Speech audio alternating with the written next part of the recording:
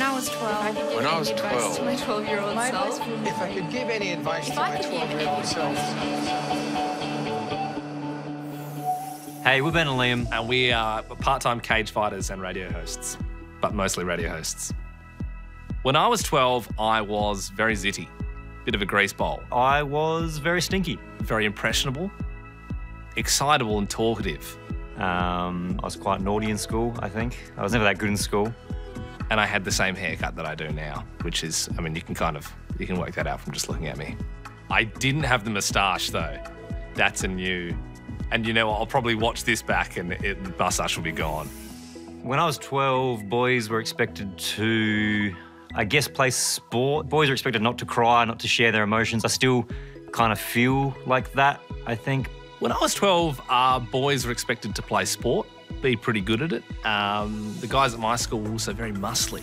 If I could give my 12 year old self any advice, it would probably be to invest in Bitcoin. I think we've all seen where that's gone, uh, and I would be rolling in it right now if I was able to talk to my 12 year old self.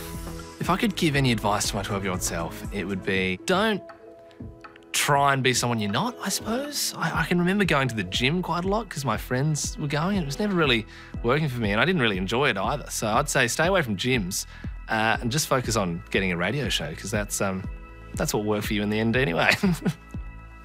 If I could go back and tell myself anything, I probably wouldn't because I, I kind of think you need to figure things out for yourself. And if you kind of cheat by getting told the answer, then you don't learn the lesson. So I think I probably would choose not to tell my 12 year old self anything. Top tips I'd give boys today are just be yourself. Um, be responsible for your actions, not uh, ever blame things on boys will be boys or, or lads' behaviour. It's all right to have feelings and to talk about your feelings. I think um, something that I was never told when I was younger. Uh, it's all right to cry. It's all right to feel things.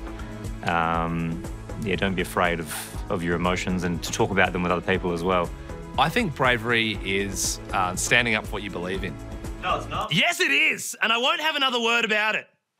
Sorry. To me, being a man is, yeah, being responsible for yourself. I don't know if anyone ever, like, comes out of a room and shakes your hand and tells you that you're a man. Maybe on the day you get married, maybe, does your dad shake your hand and say, Congratulations, son, you've become a man? I don't know. That's what they do in the movies. What would 12 year old Ben think of modern day Ben? I, without sounding too corny, would be pretty proud, I reckon. He'd chuffed, I think. He'd go, Yeah, that's all right. We did all right. Yeah. Yeah, I think the 12 year old me would look at me now and go, Is that me? Really? Why am I talking so high?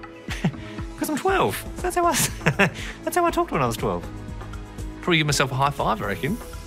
When I was 12, I was expected to work at the corner shop for 12 shillings every Sunday to help out my four sisters and nine brothers. You couldn't tell it from looking at Liam, he's actually 95. I'm very old. I was born before the war. it was a tough time. It was a very tough time.